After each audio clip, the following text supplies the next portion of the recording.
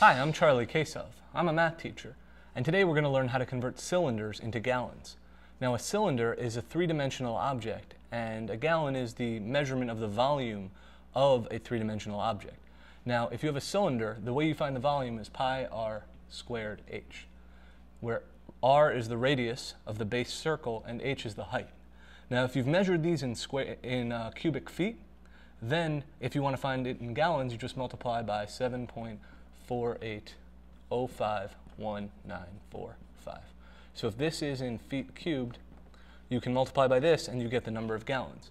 So let's say we have a cylinder and the height is 2 feet and the radius of this circle is 1 foot.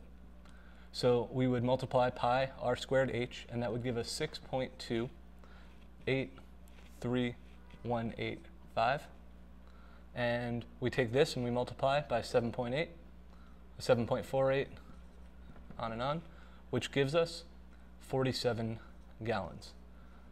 It actually gives us 47.001, so we can round to 47. So I'm Charlie Kasov, and you just learned how to convert cylinders to gallons when you measure the cylinder in cubic feet.